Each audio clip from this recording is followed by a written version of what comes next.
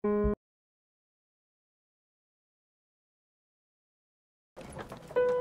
นล่อเสือออกจากถ้ำช่วยให้ยิงนัดเดียวได้นกสองตัว แต่สายในวังไม่มีความจริงใจจะเป็นต้องออกอุบายนี้ เพื่อเตือนสติท่านอ๋องแปด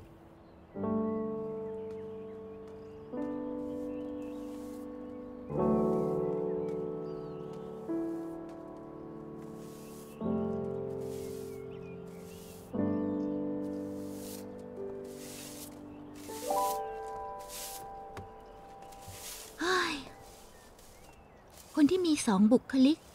ส่วนมากเป็นเพราะมีปมในวัยเด็ก ฉันเดาว่าท่านอ๋องแปดน่าจะเคยสะเทือนใจอย่างหนัก ก็เลยทำให้มีสองบุคลิกในตอนนี้ เดี๋ยวดีเดี๋ยวร้าย แต่ว่าเขาอาจจะเป็นคนที่ตีบทแตกก็ได้ เล่นบทรักเก่งมาก วันไหนไม่เล่นจะคันเนื้อคันตัว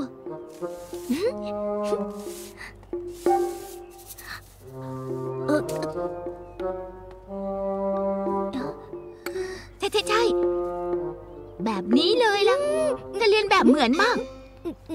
เวลาชักสีหน้าเป็นแบบนี้เลยล่ะตอนโกรธหัวคิ้วจะชนกันเลยนะ หน้ายาวเหมือนไม้เลย จริงสินเธอเรียนแบบได้เหมือนเป๊ะเลไหนยเจ้าเรียนแบบให้ดูหน่อยสิ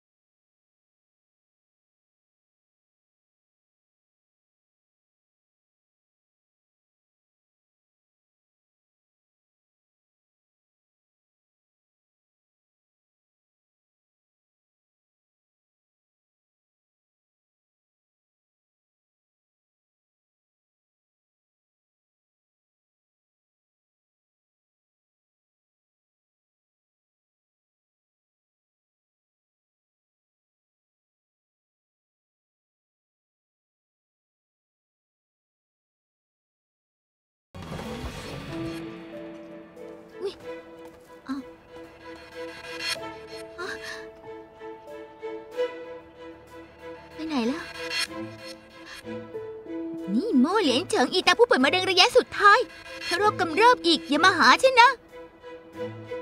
นี่